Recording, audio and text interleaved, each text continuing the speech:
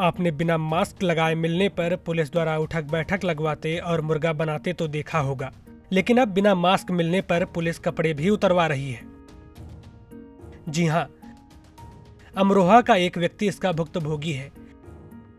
अमरोहा का रहने वाला ये व्यक्ति, जिसे आप अपनी स्क्रीन पर देख रहे हैं, बिना मास्क लगाए घूम रहा था। उसे पुलिस ने पकड़ा और उसके कपड़े उतरवा लिए। अमरोहा पुलिस ने साइकिल सवार इस युवक का शर्ट उतरवाकर उससे मुँह बंधवाकर सख्त हिदायत के साथ छोड़ा। इसलिए आप भी हो जाइए कोरोना से सावधान। और घर से निकलिए मास्क लगाकर।